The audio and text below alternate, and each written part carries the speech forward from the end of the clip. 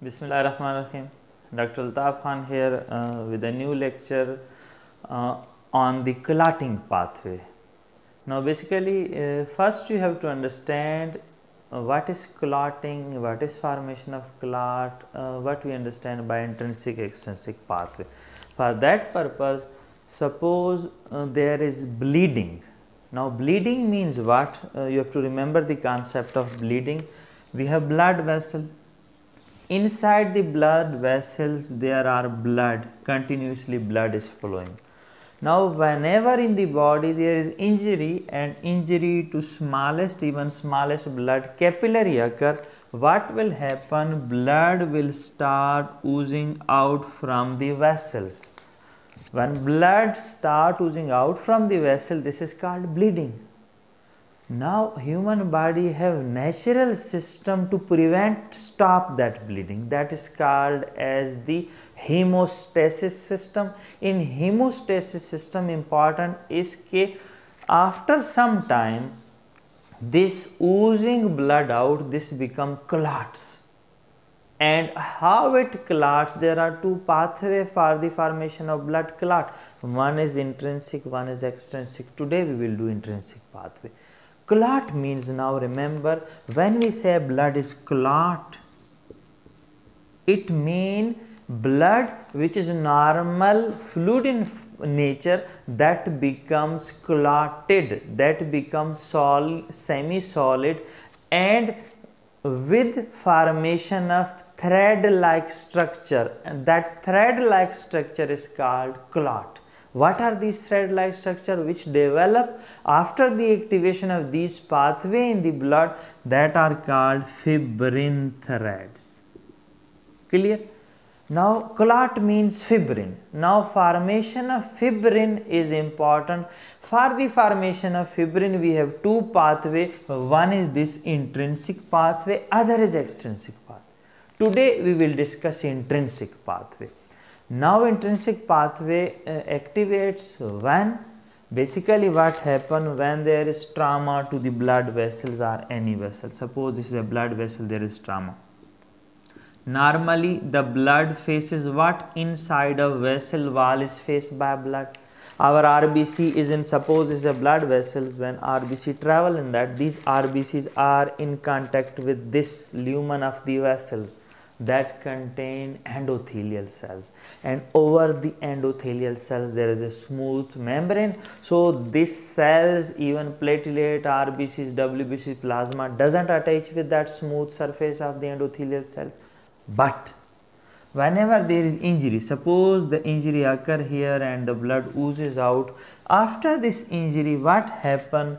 This endothelial cells are either damaged or its membrane is damaged and blood faces the subendothelial matrix. Means below endothelial cells the connective tissue is faces by that blood. That connective tissue is rough in nature. And that connective tissue importantly contain collagen. When collagen is faced by blood in the blood the important clotting cells are platelets. So, whenever platelets see that collagen, collagen is rough, platelet have a natural tendency to attach with collagen. What happen? Platelet come and attach with that collagen. With this process means when blood see that collagen or subendothelial matrix, platelet adhere to that and also dramatic changes occur in the plasma near to that area. Plasma contain important clotting factor. In this clotting factor dramatic changes occur.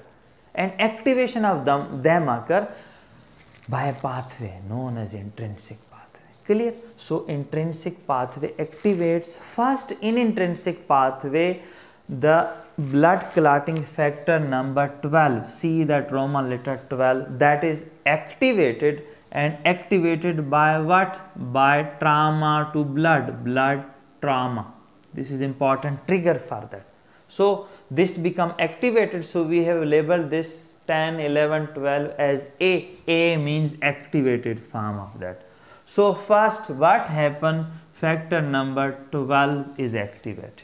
Clear then what will happen simply 12 activated form in the presence of high molecular weight kininogen and prekallikrein. These are also clotting factors. So this 12 activated with, with the help of high molecular weight kininogen and prekallikrein. This activates factor number. What is this? This is 11. So 11 is changed into activated into 11A. So after the 12 we have activated 11 in this intrinsic pathway. Clear?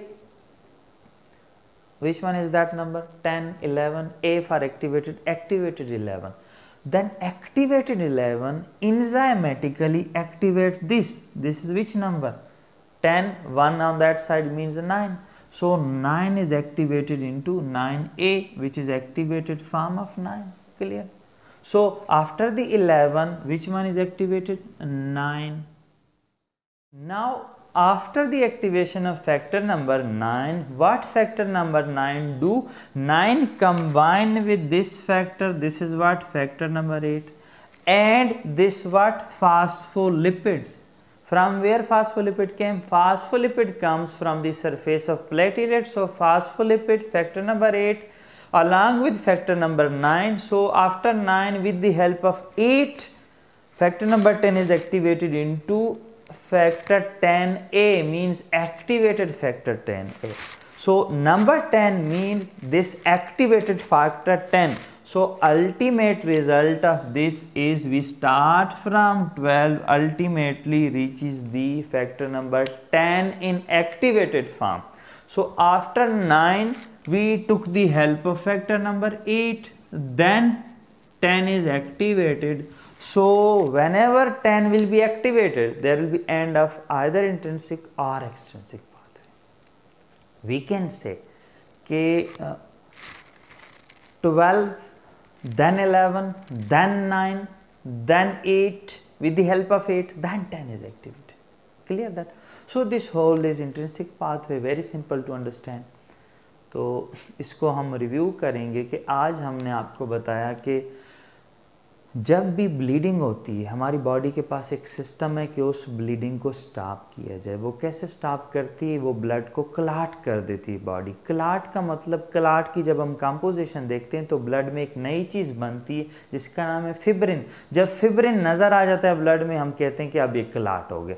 अब CLAT होने के लिए दो pathway intrinsic है extrinsic है intrinsic जो आज का हमारा टॉपिक है, वो कैसे होता है कि वो एक्टिवेट होगा?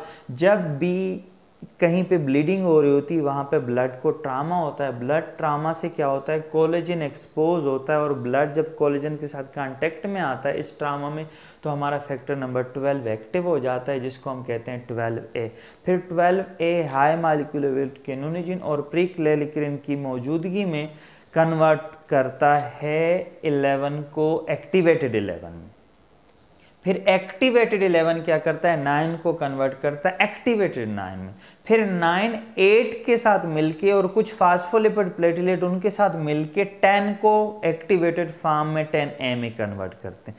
तो ये ऐसे समझ लें कि एक फैक्टर एक्टिवेट हो रहा है, वो दूसरे को कर रहा है, दूसरा तीसरे को कह रहा है तो इंजाइमेटिक रिएक्शन चलते हैं कि अल्टीमेटली टेन एक्टिवेट हो जाए। फिर इसके बाद क्या होगा, वो हम नेक्स्ट लेक्चर में बताएँगे एक्सटेंसिक पाथवे का और फिर फाइनल कॉमन पाथवे का। So thank you so much